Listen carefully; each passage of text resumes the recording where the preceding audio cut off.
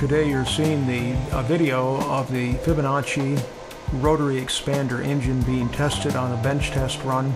This was done in January of 06.